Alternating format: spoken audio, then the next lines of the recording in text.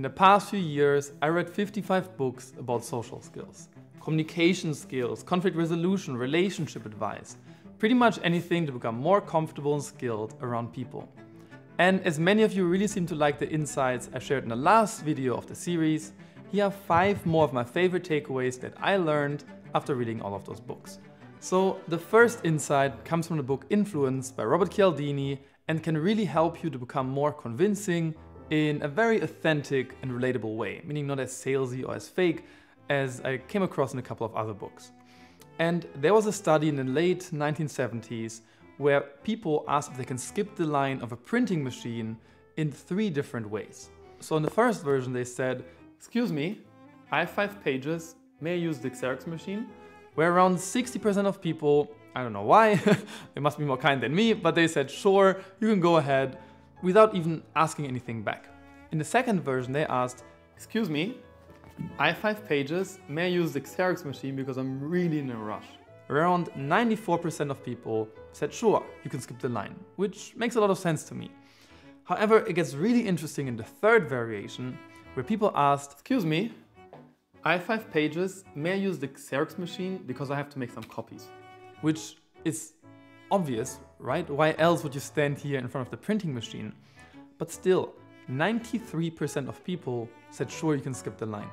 Meaning there's just a 1% difference just because you add the word because, meaning you just give a reason.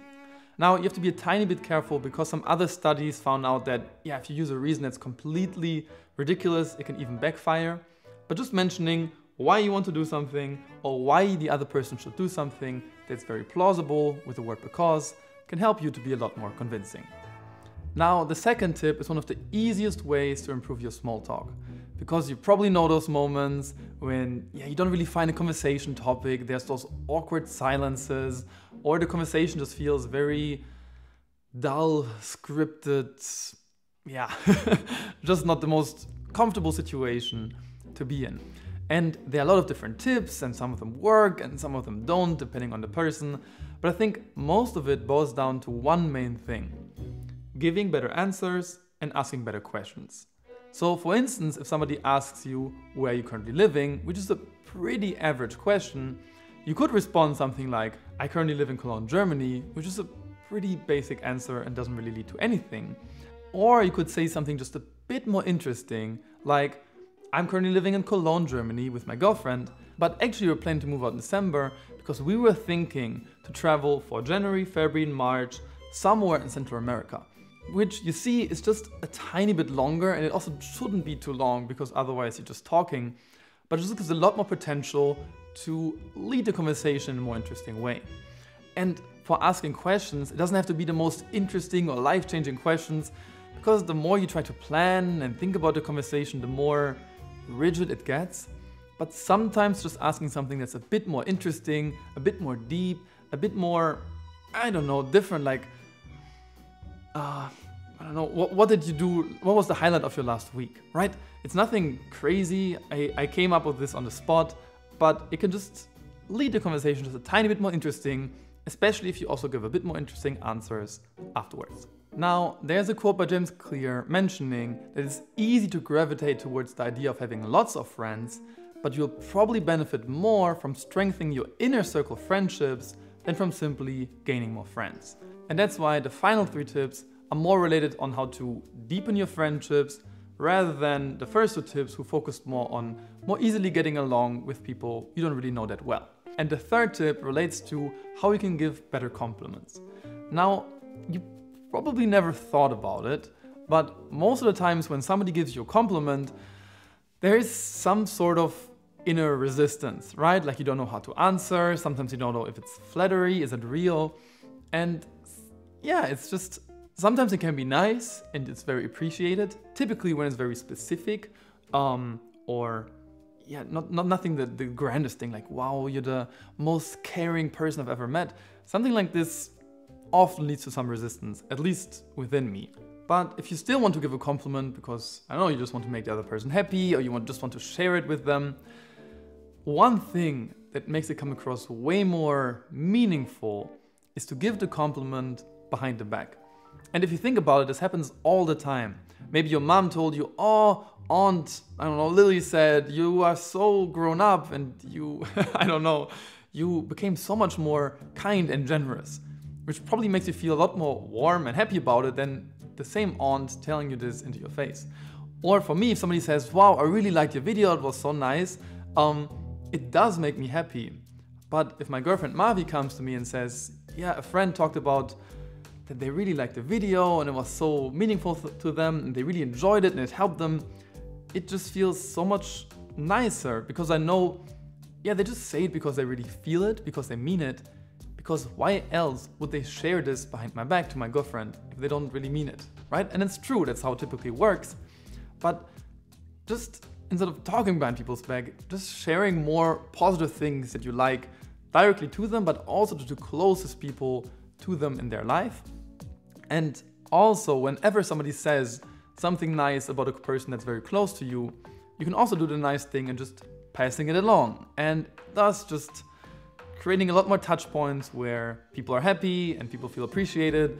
It, it does sound a bit, yeah, um, overly emotional, but it's just a very nice thing to share things that you really like about the people you really care about. Now, the fourth tip goes a bit in the opposite direction and can typically be very helpful whenever you're in a conflict or in a very uncomfortable situation. And it comes from a hostage negotiator called Chris Voss. So, what they found out is that whenever you see somebody upset or angry or disappointed, that once you mention or label that negative emotion by saying something like, Oh, you seem very hurt, or it seems like you're very disappointed right now. I say, You seem very angry. Just there's different phrases. Uh, it, it fits better typically in situation you you know what to say. That when we label a negative emotion, we diffuse it. There might be a bit more this release of like anger from the other person. If you say, "Wow, you seem very angry," say, "Yes, I am very angry." um, we all been there. But if you do this in slightly different variations and you just acknowledge or mention how the other person feels, it typically calms them down.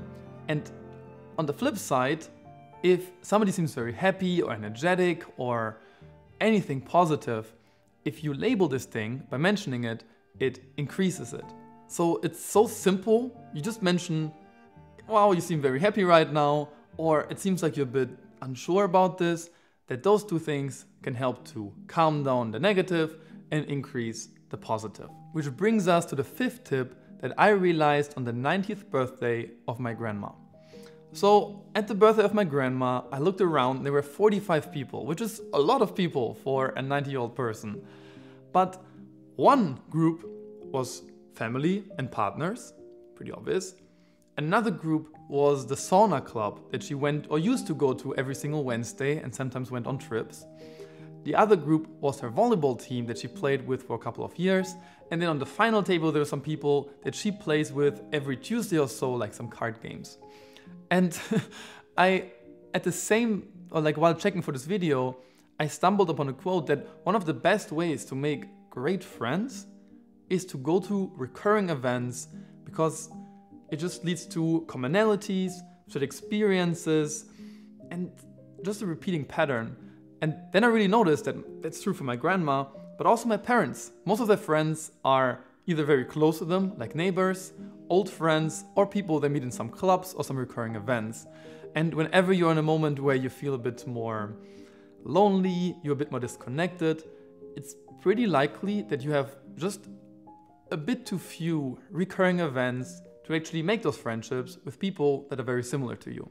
And if any of the five tips was valuable for you, then you can watch this video next where I share three extra takeaways after reading all of those books about social skills. And yeah, I'm planning to make this until I read 100 books. So let me know if there's any subtopics or anything you're interested in. And otherwise, thank you for watching.